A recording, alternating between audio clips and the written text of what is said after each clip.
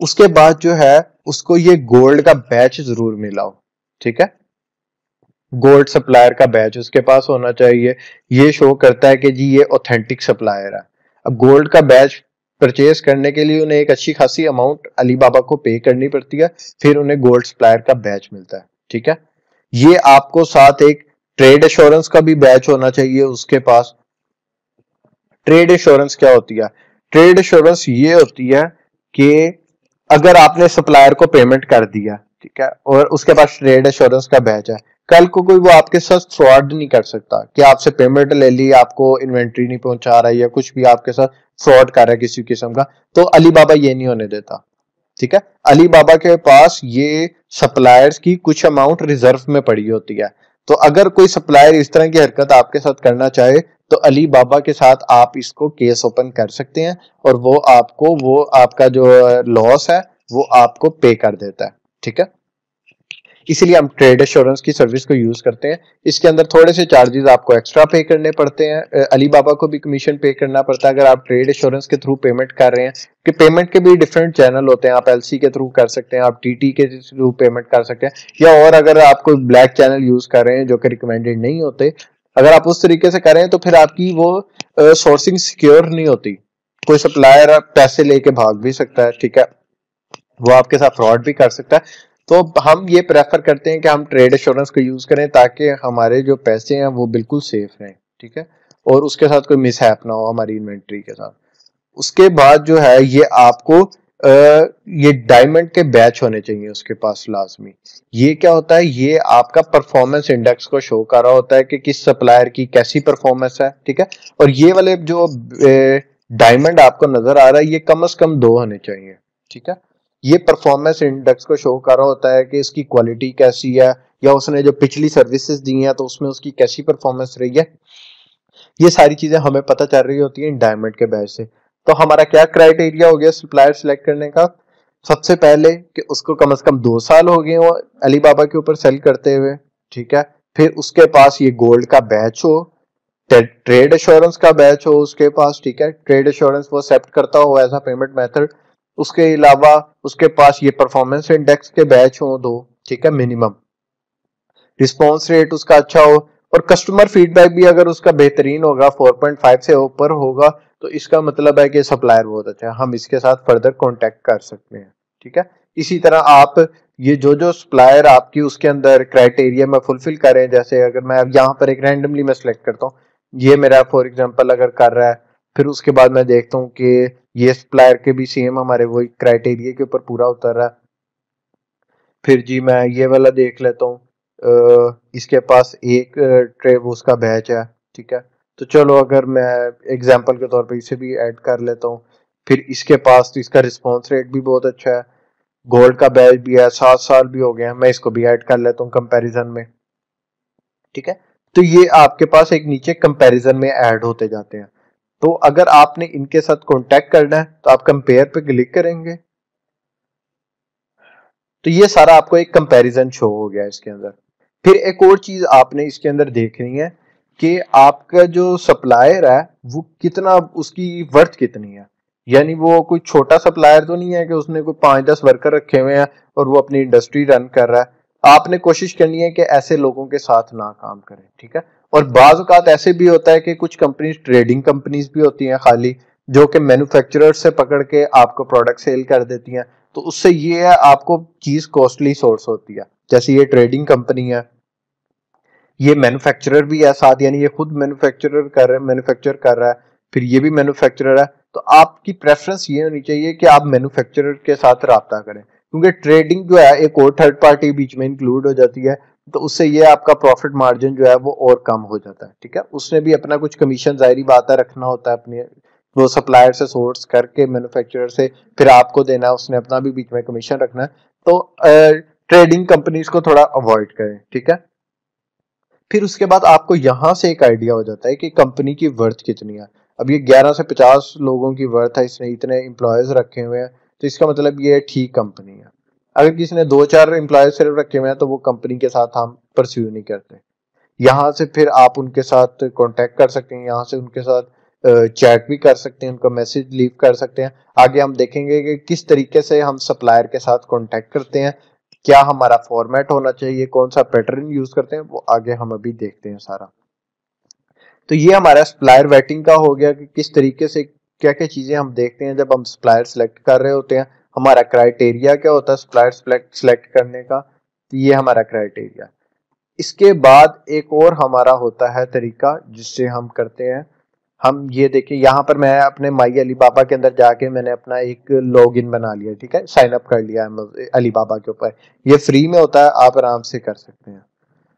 अली बाबा के ऊपर आया, यहाँ पर एक ऑप्शन आ रही है सबमिट आर एफ़ क्यू अब आर एफ़ क्यू क्या होता है? आर एफ़ क्यू होता है, पहले जो हमने तरीका यूज़ किया, वो हमने इंडिविजुअली सबको जाके कॉन्टेक्ट किया। सबके जो हमें लग रहा था कि जिनके पास ये प्रोडक्ट पड़ी हुई है उनसे जाके मैंने इंडिविजुअली कांटेक्ट किया कि यार ये आपके पास प्रोडक्ट है, आप क्या इसका रेट दे रही है, वो इंडिविजुअली मैं उसके साथ बात कर रहा हूँ, ठीक है? उसके बाद अली बाबा एक और ऑप्शन प्रोवाइड करता है कि request for quotation R F Q अपना आर एफ़ क्यू क्रिएट कर लें। आर एफ़ क्यू जब हम क्रिएट करते हैं, उससे क्या बेनिफिट होता है? आपका एक पूरा जो आपकी रिक्वेस्ट होती है कोटेशन के लिए जिस प्रोडक्ट को आप फाइंड आउट करना चाह रहे हैं, आप उसकी एक अच्छी सी कोटेशन बना के, आप एक इंक्वायरी क्रिएट करके आर एफ़ क्यू में पोस्ट कर देते हैं। उससे ये जितने भी सप्लायर्स जो है, इस कैटेगरी के अंदर फॉल करते हैं, जो कि स्क्रंचीज को बेच रहे होंगे, उनको ये आर एफ़ क्यू नज़र आना शुरू हो जाएगा, ठीक है? और वो अपने हिसाब से, अपनी प्रोडक्ट के हिसाब से, अपनी प्राइस के हिसाब से सारा कुछ आपको कोटेशन देना शुरू कर देते हैं। कि अच्छा जी, ये वाली कोटेशन हम आपको इतने में दे देंगे, दूसरा सप्लायर कह रहा है कि मैं आपको इतने में दे दूँगा, मैं ये क्वालिटी आपको दूँगा, दूसरा कह रहा है मैं इससे भी अच्छी क्वालिटी दूँगा। तो यानी एक आपके पास काफ़ी ज़्यादा कंपेरिजन आ जाते हैं इस तरीके से। तो आप दोनों तरीकों को यूज़ कर सकते हैं, जिस तरीके से आपको बेटर रेट मिले, आप उस तरीके पे जा सकते हैं, ठीक है? अब यहाँ पर मैं आपको थोड़ा सा करके दिखा देता हूँ। यहाँ पर आप अपनी प्रोडक्ट का नेम लिखते हैं, ठीक है? मैं फॉर एग्ज़ाम्पल लिखता हूँ तो मुझे वेलवेट में चाहिए तो वेलवेट स्क्रंचीज यहाँ मैंने वेलवेट स्क्रंचीज टाइप कर दिया। हर प्रोडक्ट के लिए यही है बिल्कुल।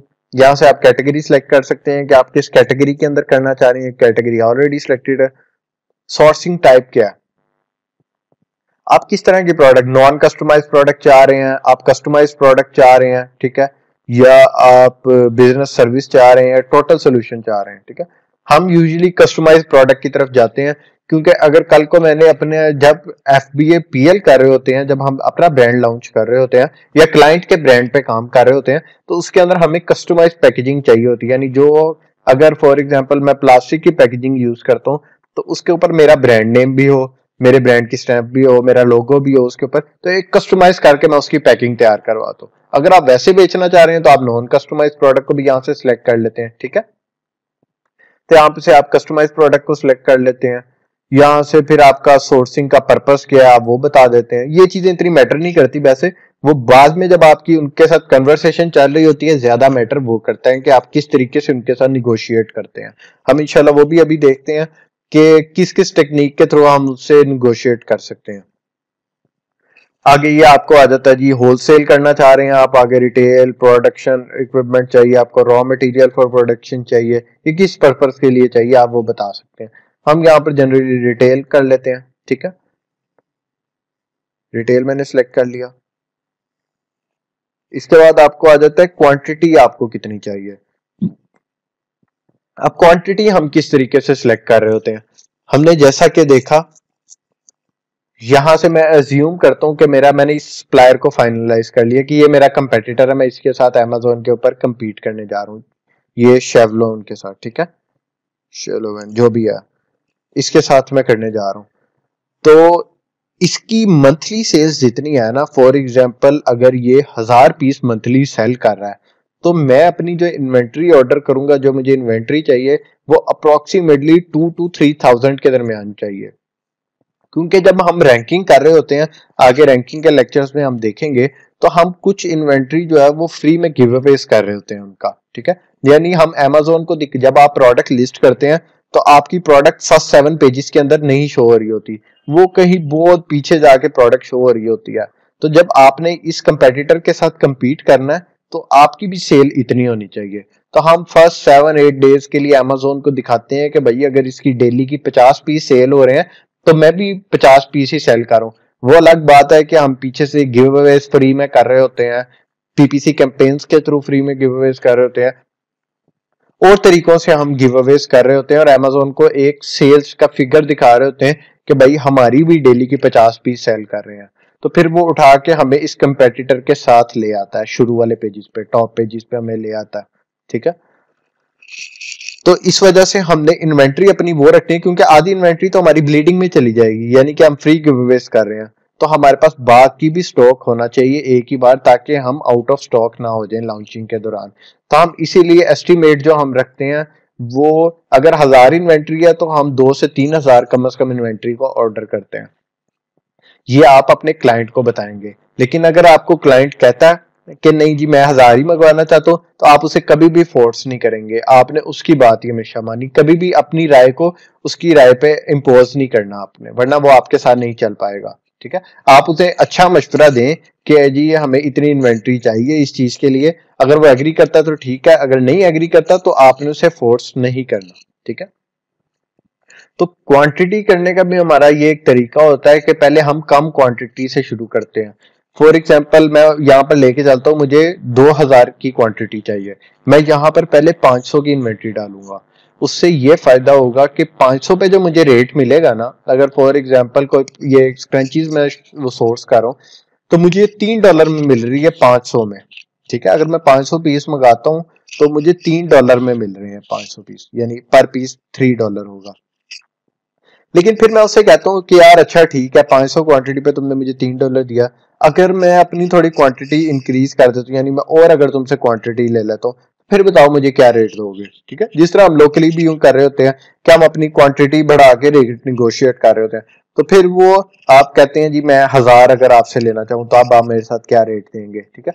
तो उस तरीके से आप फिर अपनी क्वांटिटी आहिस्ता आहिस्ता बढ़ाते जाते हैं। उससे ये है कि आपको रेट को निगोशिएट आप कर लेते हैं। फॉर एग्ज़ाम्पल तीन पे था तो आप एंड पे उसके साथ क्वांटिटी इंक्रीज कर, करके जो आपकी रिक्वायर्ड क्वांटिटी है, वहाँ तक जाते हुए आप काफ़ी रेट को निगोशिएट कर लेते हैं।